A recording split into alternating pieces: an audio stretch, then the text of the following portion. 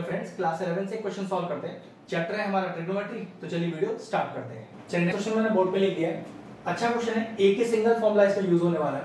पहले क्वेश्चन पढ़ते हैं क्या प्रूफ करना है। क्वेश्चन में प्रूफ करना है कि cot a plus cot 60 plus a plus cot 120 plus a is equal to 3 cot 3a तो यहाँ देख सकते हो, यहाँ cot a b का फॉर्मूला आएगा। यहाँ भी cot a b का फॉर्मूला आएगा। सारा अरेंजमेंट होगा एलसीएम ले जाएगा। और लास्ट में जो बचेगा वो 100 percent three cot three A होगा। तो चलिए सबसे पहले मैं कॉट ए प्लस बी का फॉर्म लेके दिखाता हूँ। तो कॉट ए प्लस बी होता है cot A cot B minus one upon cot A plus cot B अब इस फॉर्मूले को मैं इन दोनों में अप्लाई करता हूँ। चलिए ठीक है। तो कॉट ए प्लस नाउ लगाइए कॉट ए प्लस बी का फॉर्मूला हो गया cot A cot B minus one upon cot A plus cot B ठीक है, ये डिग्री लगा दीजिएगा सिक्सटी डिग्री ठीक है? नेक्स्ट प्लस ऐसे यहाँ लगाइए तो cot A cot B minus one whole upon cot A plus cot B जो कि एक्चुअल में क्या है यहाँ पर? ए ठीक है, अब क्या करें? Cos 60 cos 60 cot 60 cot 60 का वैल्यू यहाँ 120 120 का वैल्यू चलिए पुट करते हैं। तो cot a plus now what is cot 60 cot 60 tan 60 का उल्टा होता है। Tan 60 रूट थ्री होता है। तो रिवर्स कर दीजिए। वन अपॉन रूट थ्री हो गया। तो ये हो गया। cot a upon root three minus one whole upon denominator में हो गया।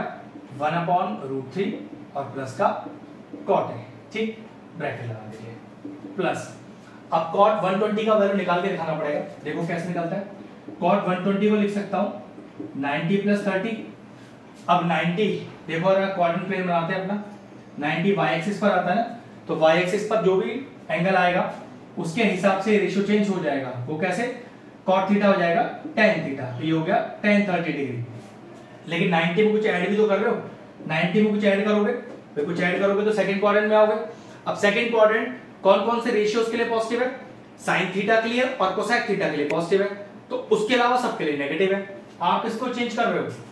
आप किसको चेंज कर रहे हो? आप कॉट को कर रहे हो? तो सेकंड क्वाड्रेंट में कॉट थीटा कैसा हो जाएगा? नेगेटिव हो जाएगा। तो ये लीजिए माइनस टेन थर्टी वैल्यू हो जाएगी। और टेन थर्टी होता कितना है? टेन थर्टी होता है वन अपॉन रूट थ्री तो यहाँ पर कॉट वन ट्वेंटी का डायरेक्ट वैल्यू कितना हो गया? Minus one upon root three तो देखिए कितना आ गया। हो गया माइनस का cot A upon root three minus one whole upon फिर ये हो गया आपके पास कॉट ट्वेंटी वही सेम माइनस का वन अपॉन रूट थ्री और प्लस का कॉट ए ठीक? क्या करें? देखो, यहाँ से दो माइनस है ना, दोनों बाहर ले लेते हैं तो उसकी वजह से ये माइनस हो जाएगा और ये दोनों प्लस हो जाएँगे। एक तरह से मैंने माइनस कॉमन ले लिया है, ठीक है? चलिए एल्सियम लेते हैं। तो कॉट प्लस लीजिए एल्सियम कितना आएगा? ये आएगा कॉटे माइनस का root three upon root three whole upon नीचे देखो one plus root three cot A और अपॉन रूट थ्री ये लीजिए माइनस फिर ब्रैकेट यहाँ पर वही होने वाला है। एलसीएम तो cot plus root three upon root three whole upon LCM minus one plus root three cot और अपॉन में रूट थ्री अब देखो जरा ध्यान से। रूट थ्री से रूट थ्री यहाँ भी चला जाएगा और यहाँ भी चला जाएगा। अब बचा हुआ? देखता हूँ ऊपर। नेक्स्ट स्टेप देखिए, हम पे बचा क्या है। हम पे बचा कॉट फिर प्लस कॉट माइनस का root three upon one plus root three और कॉट ए, ये लीजिए। फिर यहाँ पर माइनस ब्रैकेट क्या बचा? Cot A plus root three upon, ये हो जाएगा minus one plus root three into cot A. ठीक है? पहले इन दोनों में एल्सियम लेते हैं। इस कॉट को बाद में छुएँगे ठीक है? वरना बहुत ज़्यादा टफ हो जाएगा। चलिए, इन दोनों में एल्सियम लेते हैं। तो एल्सियम कितना आएगा आपके पास? Root three cot plus one और यहाँ कितना लिखा है? रूट थ्री कॉट ए और माइनस का वन तो चलिए एल्सियम लेते हैं। तो ये हो गया आपके पास न्यूमिनेटर में कॉट ए माइनस का root three into into root three cot A minus one फिर माइनस फिर ये आएगा आपके पास cot A plus root three और इंटू में आ जाएगा। One plus root three cot A one plus root three और कॉट ए ये मैंने सिंपल एल्सियम लिया है। आप एल्सियम अपने तरीके से भी ले लेना। बिल्कुल एग्जैक्ट यही आएगा, ठीक है? यहाँ कोई मैंने नया काम नहीं किया है। परेशान होने का ज़रूरत नहीं है। अब सिर्फ़ मल्टीप्लाई कर रहा हूँ। तो कॉट ए प्लस चलिए, एक एक टर्म मल्टीप्लाई करते हैं। ये हो गया आपके पास root three into cot square फिर माइनस का कॉट फिर माइनस का थ्री कॉट और प्लस का रूट थ्री मतलब कॉट को दोनों से मल्टीप्लाई किया। फिर रूट थ्री को दोनों से मल्टीप्लाई किया। ठीक है? माइनस लग रहा है तो एक ब्रैकेट लग जाना चाहिए। अब इंटू करते हैं। ये हो गया आपके पास cot A plus root three cot square फिर हो गया आपके पास प्लस का रूट थ्री और थ्री कॉट ए ठीक है? फिर वही कॉट ए को दोनों से और रूट थ्री को दोनों से। नाउ होल अपॉन नहीं, सिर्फ़ इसके नीचे। याद रखना, ये वाला कॉट ए बिल्कुल अलग चल रहा है। ठीक है? आप देखो a plus B A minus B तो कितना हो गया? ए स्क्वायर माइनस का बी स्क्वायर चलिए इसका ब्रैकेट खोलते हैं और ब्रैकेट के बाद माइनस लग रहा है ना तो सारे साइन चेंज हो जाएँगे। तो देखो जरा ध्यान से, ये माइनस ये माइनस ये भी माइनस और ये भी माइनस ठीक है? चलिए, अब टर्म्स कुछ कैंसिल आउट ज़रूर होंगे। तो क्या क्या जा रहा है देखो?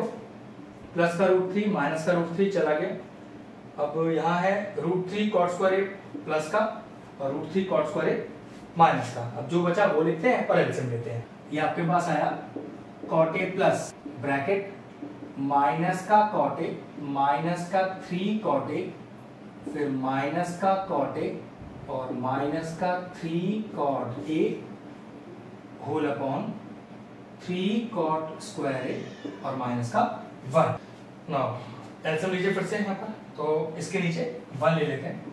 तो होल के नीचे एल्सियम आ गया। थ्री कॉट स्क्वायर ए और माइनस का वन ये आएगा। Cot A into three cot square A minus का वन अब ये देखो कितना हो गया। एक और तीन चार और एक पाँच और तीन आठ। माइनस का आठ कॉट ए ठीक है? क्योंकि सारे कॉट ए लिखे हैं ना। तो एक और तीन और एक और तीन तो टोटल मिला के कितने बैठे? तीन और तीन छह और दो आठ, लेकिन सारे के सारे माइनस के। माइनस आ गया। और प्लस इंटू माइनस तो माइनस ही आएगा। अब अंदर इंटू करो, इससे कितना आएगा देखो? ये आएगा three cot cube A minus का कॉट ए माइनस का ए कॉट ए और whole upon three cot square A और माइनस का वन अगला स्टेप देखते हैं। ये आया थ्री कॉट क्यूब ए ये कितना आ गया? माइनस वन और माइनस एट माइनस का nine cot A whole upon three cot square A और माइनस का वन ऊपर से सिर्फ़ थ्री कॉमन ले लीजिए बाहर। तो देखो कितना आ गया। Cot cube A minus three cot A upon three cot square A और माइनस वन और ये डायरेक्टली किसका फॉर्मूला है पूरा? ये डायरेक्टली फॉर्मूला है कॉट थ्री ए का। तो थ्री ए बार है और कॉट थ्री का डायरेक्ट फॉर्मूला आ गया। Cot cube A minus three cot A upon three cot square A minus one देखना। यही आपको प्रूव करना था। बिल्कुल यही प्रूव करना था। तो ये लीजिए since LHS is equal to RHS hence prove question को अच्छे से प्रैक्टिस कीजिएगा। शानदार क्वेश्चन था। तो वीडियो फिनिश करते हैं। अगर आपको हमारा वीडियो इंफॉर्मेटिव लगा हो तो हमारे चैनल मैथ्स फिलीज को सब्सक्राइब कर लें और साथ में लगे बेल आइकन को भी हिट कर दें, जिससे आगे आने वाले वीडियोस का नोटिफिकेशन आपको सबसे पहले मिल जाए।